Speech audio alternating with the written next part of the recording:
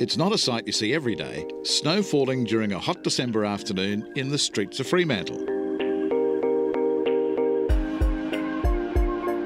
But this is the annual Fremantle Long Table Dinner, a sellout Christmas charity event which stretches over an impressive three blocks of High Street.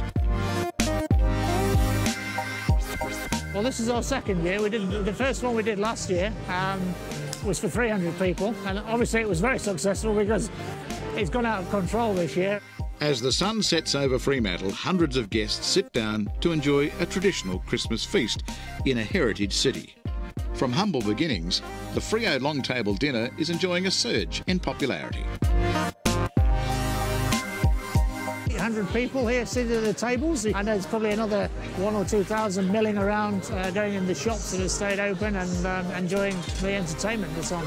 In typical Fremantle style, it's a windy afternoon, but that doesn't dampen the mood. To entertain the guests, dancers, performers, singers, and flamethrowers do their stuff on the streets. Even Santa makes an appearance.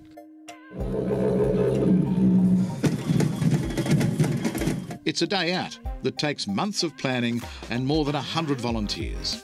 Run by the city's oldest pub, the National Hotel, and the Fremantle Business Improvement District, all the proceeds go to St Patrick's Community Centre, a charity that helps people who are disadvantaged or at risk of homelessness.